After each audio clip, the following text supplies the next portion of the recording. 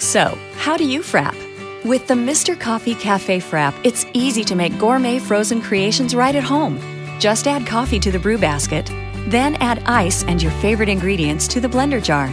With the touch of a button, Cafe Frap quickly brews the coffee, then blends automatically, turning your countertop into a customized coffee house. And since you make them yourself, they can be as healthy or as decadent as you wish. So whip up a few of our favorites from the included recipe booklet.